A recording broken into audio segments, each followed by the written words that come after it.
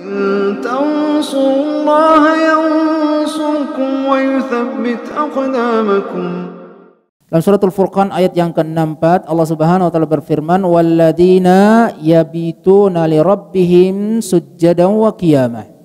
Pujian kepada orang-orang soleh, orang-orang yang bertakwa, yakni orang-orang yang yabituna li rabbihim. Orang-orang yang menghidupkan malamnya untuk Rabbnya.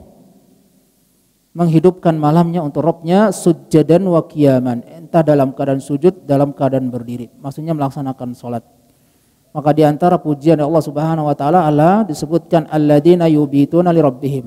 Orang-orang yang menghidupkan malamnya untuk Rabbnya.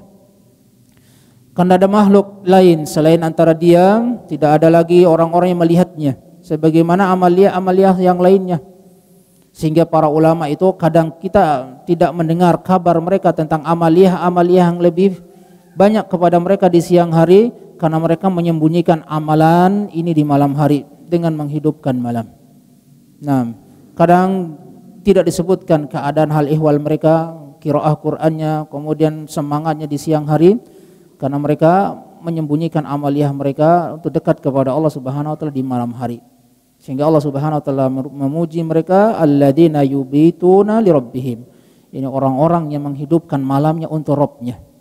Di sanalah kemudian kita bisa melihat dan mengukur ketulusan dan keikhlasan kita kepada Allah ketika kita melaksanakan amaliyah hanya kita dengan Allah Subhanahu wa taala di malam hari tanpa manusia yang melihatnya. Maka Allah Subhanahu wa taala memuji amaliyah ini dalam suratul Furqan ayat yang ke-4. Demikian pula pujian Allah Subhanahu wa taala diberikan dalam surat Az-Zariyat ayat yang ke-17 dan 18.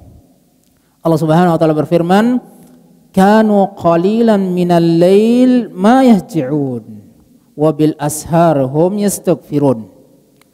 Dalam surat Zariyat Allah Subhanahu wa taala menyebutkan keadaan orang-orang yang bertakwa penduduk surga. Penghuni surga. Mereka kata Allah kanu qalilan minal lail ma yahjiun. Mereka adalah orang-orang yang di malam harinya sedikit tidurnya. Wabil ashar hum yastaghfirun dan di waktu sahur menjelang fajar mereka senantiasa beristighfar kepada Allah Subhanahu wa taala.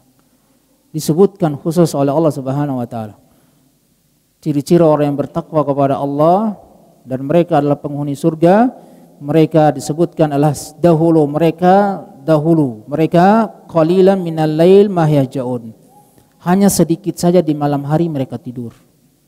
Dan ketika datang waktu sahur mereka beristighfar kepada Allah Subhanahu wa taala. Maka istilah sahur ini adalah istilah waktu antara terbitnya fajar sampai ukuran bacaan Al-Qur'an 50 ayat. Jadi kalau istilah makan sahur adalah makan di waktu sahur. Nah, yakni makan menjelang waktu yakni sebelum terbitnya fajar. Waktu-waktu imsak. Itu adalah waktu sahur yang sebenarnya.